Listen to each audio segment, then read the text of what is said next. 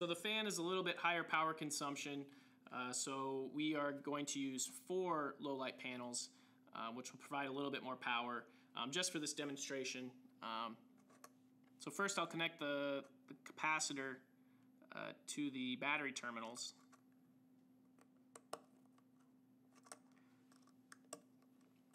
And to save time, the, the capacitors were pre-charged. Uh, in this light, uh, these capacitors would take uh, a couple minutes to charge up.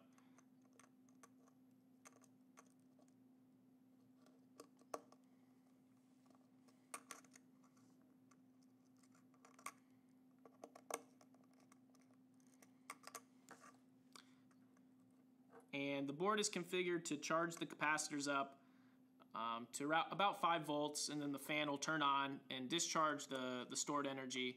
Um, and then the, the capacitors will charge back up again, and it'll uh, just keep repeating that process.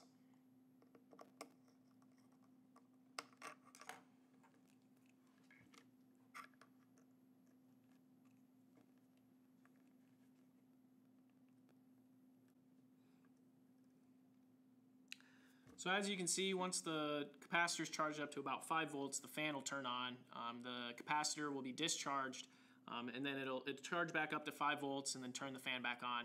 Um, so this kind of pulsing application uh, where the, the load is only connected for a small portion of time, um, uh, that can be used to, to power some of the higher power applications.